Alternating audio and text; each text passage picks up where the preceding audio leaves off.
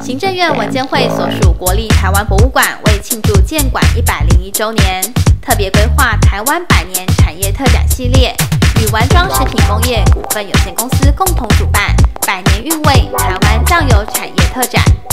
展览自七月七日起至八月国立台湾博物馆馆长肖宗煌、丸庄食品工业股份有限公司董事长庄英尧。经济部中小企业处处长赖山贵等人接莅临会场，共襄盛举。在这个展场里边，我们可以看到台湾过去一百年酱油发展的历史，然后酱油制作的各种原料制作的过程，还有台湾